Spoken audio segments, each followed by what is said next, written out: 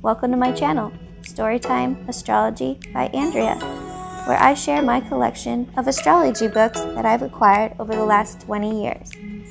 Growing up in my house, my mom would always ask, What's their sign? What's their birthday? Astrology is a fun way to learn about the people you love and about yourself. I'm so excited to be sharing this book with you today. It's definitely one of my favorites, um, if you can't tell. I uh, purchased it 20 years ago. I've used it many a times for a reference. Uh, I have a girlfriend call me and be like, I'm dating this person. And I'd say, What's their birthday? And I'd look them up really quick um, because it's got every single day of the year in it every single day. So you can look up that birthday and it tells you all about that person, about their astrology and about their numerology. It's called The Power of Birthdays, Stars, and Numbers, the Complete Personology Reference Guide. And it's written by Saffi Crawford and Geraldine Sullivan. Uh, like I said, bought this 20 years ago, bought it in a bookstore um, called Bookman's and um, I was going to school in a small college town called Flagstaff, Arizona.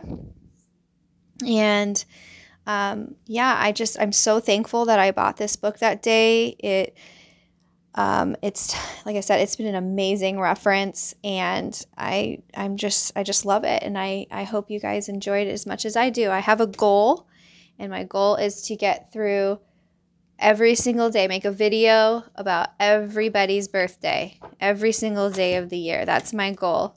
So uh, i hope you enjoy the book as much as i do. All right so in this video we are going to be talking about the birthday of may 1st if you're born on may 1st that means that you are a taurus your sun is in the sign of taurus which as you can see from that symbol right there that you're represented by the bull You can be as stubborn as a bull, as they say. And it also says that if you're born on May 1st, your decadent is in Virgo, and you are a fixed sign, and you're an earth sign.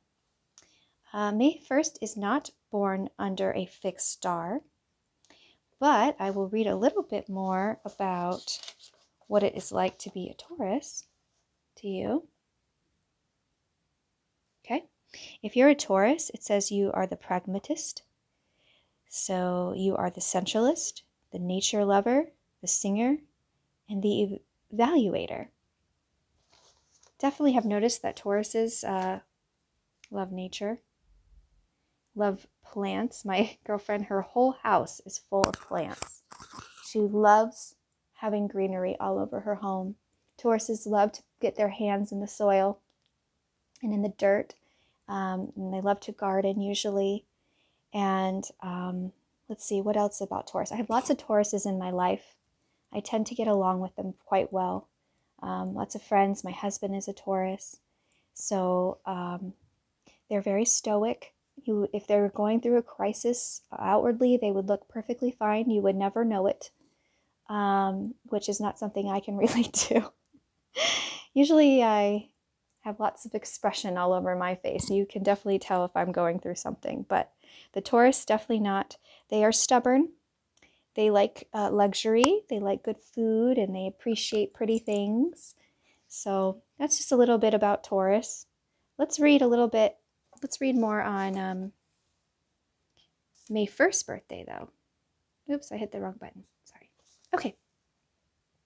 So it says here your birthday reveals you to be astute, practical, and creative individual who needs people.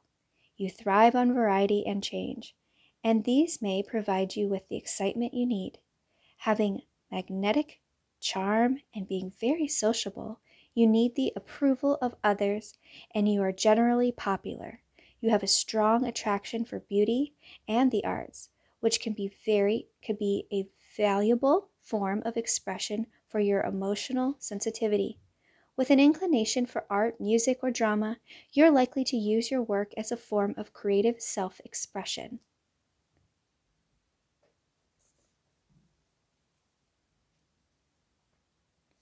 The added influence of your Virgo decadent suggests that you have mental agility, discrimination, and enhanced communication skills Together with your creative abilities, this may manifest as a talent for writing. It also shows an ability to work hard and is in a desire to be of service, as well as an inclination toward detailed work or research. Since this influence also emphasizes an ability to gain money and material resources, it can help you to realize your ideals. Oops, I realized I wasn't maybe on there. Sorry about that. Having the added advantage of being both practical and analytical, as well as emotional and sensitive, you have a wide range to your personality, and you are therefore in a better position than most to achieve on a grand scale. You may have you may just have to be careful of becoming discouraged or distracting yourself from your high objectives through overindulgences, overindulgences and too good a desire for the good life. Sounds like a Taurus. If you are if in sorry, in youth you are sensitive, versatile and sociable. After the age of 20, when your progressed sun moves into Gemini, there is an increased desire to express your ideas and interlate more with your immediate environment. This may encourage you to study or mentally diversify in some ways. In your middle years, after the numerous changes, you are likely to find probable gains through partnerships and cooperative relationships. Around the age of 50, there's another turning point when your progressed sun enters Cancer. This will highlight the growing importance of needing emotional stability and the security of home. your secret self.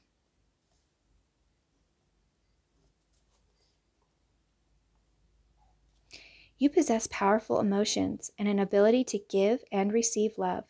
It is, it is therefore important to find a form of expression for your feelings rather than seeking fulfillment in financial interests.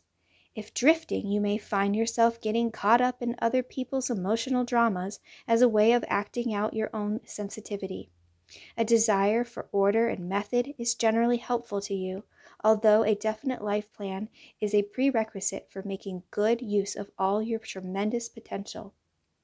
By having a strong sense of values, you can build something worthwhile for the future. Through being diligent, you will be able to convert your excellent vision into a practical reality, and you will find that work opportunities will be offered to you just when you need them.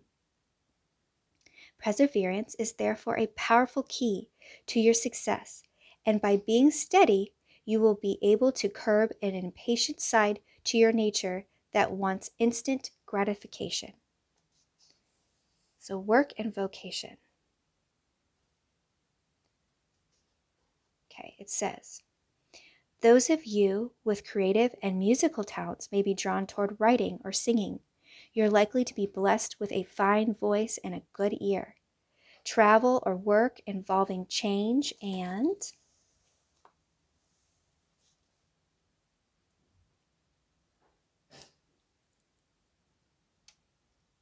Variety is also liable to interest you. Intuitive and sensitive, you often have an interest in metaphysics, philosophy, or spirituality. Career wise, you may be a good salesperson with an ability to promote, promote ideas, people, or products.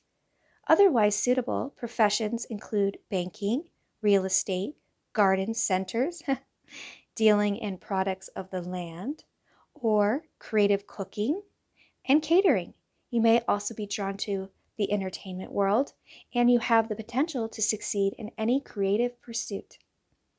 Famous people who share your birthday include singers Judy Collins and Rita Coolidge, actor Glenn Ford, astrologer William Lilly, and writers Terry Southern and Joseph Heller. Okay, numerology. How do the numbers in your birthday influence your personality?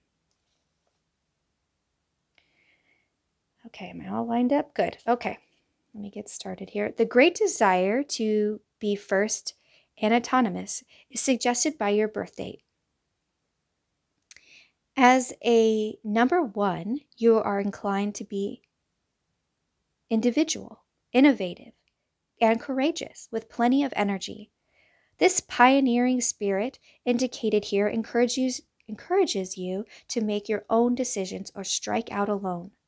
Full of enthusiasm and original ideas, you often show others the way forward. With the number one birthday, you may also need to learn that the world does not revolve around you. The sub influence of the number five month indicates that you need a steady pace and a purpose. Self discipline allows you to take control over your life. Since you are, ver- you are versatile and practical strategist, busy turning your thoughts into deeds, having a routine or specialty is it is advantageous. Sorry. You benefit from being aware of others' needs and being responsible brings freedom from worry. Strong instincts can guide and inspire you. Uplifted, you see new possibilities and a brighter future. Be patient and work within what is possible. Positive leadership, creativity, progressive attitudes, forcefulness, optimism, strong convictions, competitiveness, independence, and gregariousness. Negative is overbearingness, jealousy, egotism, antagonism, lack of restraint, selfishness, weakness, inability, and impatience. Okay. Was, all right. That's a lot of stuff there. Okay. Love and relationships. Romantic and idealistic about relationships, you're likely to take your time finding true your true partner. You may sometimes choose platonic friendships, as it is hard to find a relationship that measures up to your high ideals. It is better to pick a partner who is clever and enthusiastic with a strong humanitarian side. When you fall in love, you love deeply and remain loyal even though periods of dif- remain loyal even through periods of difficulty. By developing flexibility and detachment, you can avoid emotional frustration and make your relationship smoother, happier, and more rewarding. Your special someone.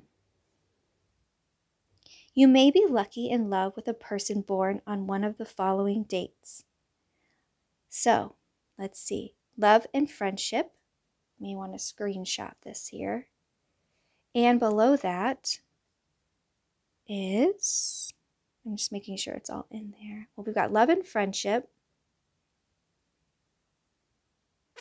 Okay, it does show fatal attractions. Sorry, I couldn't see it on my phone. we've got so love and friendship, then beneficial dates, and then your fatal attractions.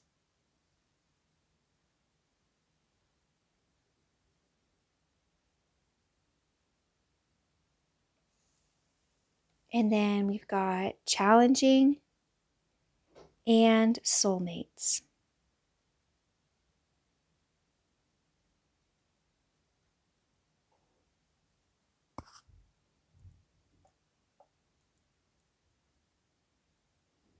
Okay. So there's the reading for May 1st. I hope that you liked this video. Um, if you did, please give me a thumbs up if you could. Uh, let me know in the comments too if you get a chance to let me know if you feel that this is is like you. Is this some is this does this fit your personality or the person that you know that's born on May 1st or does it not? Either way, um, let me know. I'm interested to know. If you want to learn more about other birthdays, I'm gonna my goal is to uh, read every birthday of the year here. So out of this book. So if you'd like to see more, um, maybe go ahead and subscribe to my channel. I'd appreciate that. And yeah, thanks so much for watching and uh, have a great day.